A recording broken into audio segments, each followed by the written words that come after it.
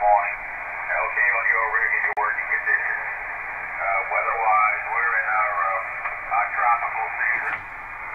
Hey guys, welcome to Ham Radio with K0PIR, my YouTube channel. I've got a video out there on updating firmware on the ICOM 7300, but it's a little bit long. I'm going to show you how I do it these days. I've got an extra SD card here, and I use it for firmware. I'm going to put it into the radio.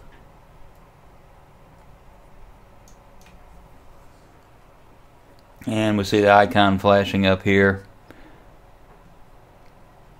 It looks like it needs to be formatted so I'm gonna go to menu. Set SD card. And then go down to format. Click yes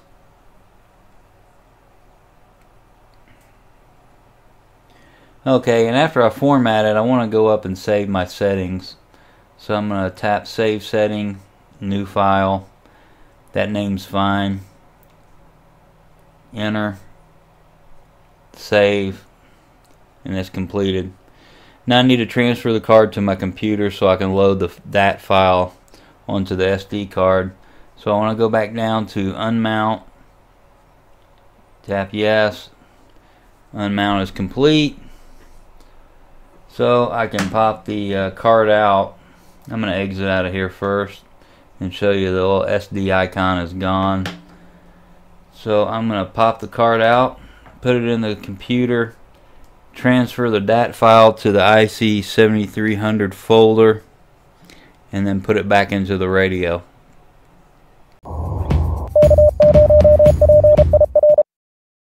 Okay, we put the uh, SD card in the computer and I'm going to go to the ICOM website, download the latest firmware. And this is for the IC7300. Click agree. And it downloads up here the top right hand corner. Once it's completed, open up the folder and then extract the uh, zip file, extract all just leave it as a default and it'll pop up here. There's the DAT file and I need to copy this file into the IC 7300 folder on that SD card and my SD card is right here. USB drive G there's a 7300 folder so I'm just going to drag and drop it down there. Make sure it's in there. There it is. Now I can eject this card and put it into back into the 7300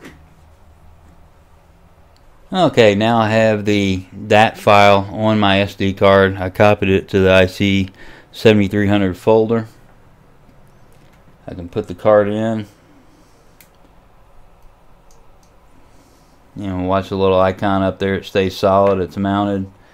I can go to menu set SD card now I already have my settings saved on here.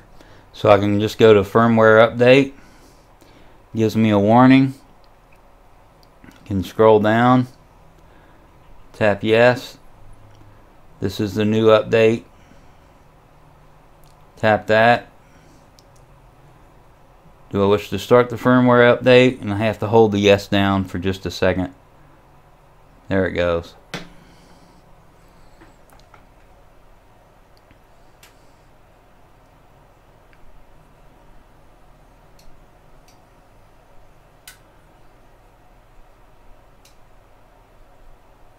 That looks like it's it. Now all I have to do is go back in and load my settings.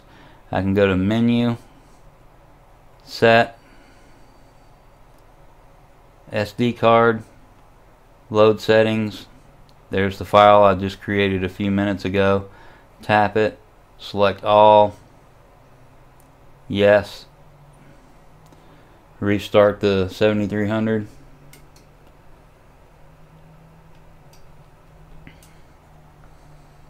There we go.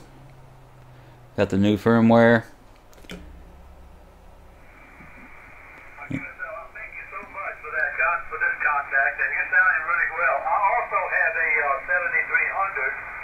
but I I'm not on it right now. I'm on an Olflex 3000. I do have another video out there updating the firmware on the 7300 and I do it a little bit different these days I don't transfer the data and the settings over to my computer anymore. I found that I just don't use it. Okay well I hope you find this informative and useful. Thanks for watching. Please visit my website www.k0pir.us 73 and good DX